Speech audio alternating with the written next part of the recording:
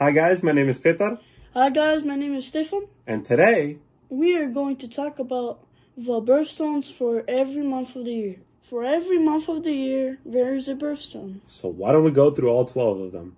The birthstone for January is garnet.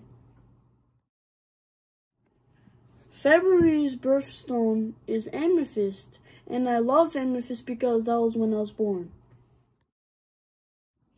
The birthstone for March is aquamarine.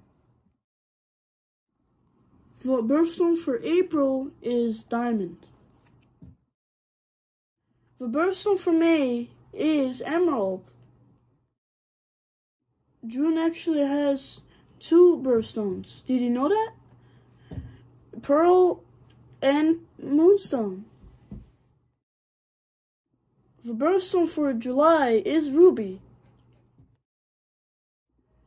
The birthstone for August is Peridot. Per- the crystal Peridot is really green. September's birthstone is Sapphire. And also, my brother was born on September. October's birthstone is Opal. November also has two birthstones, like Citrine and Topaz. December has a total of three birthstones, like turquoise, zircon, and tanzanite. That's all for today's video. Make sure to like and subscribe and teach others what their birthstone is.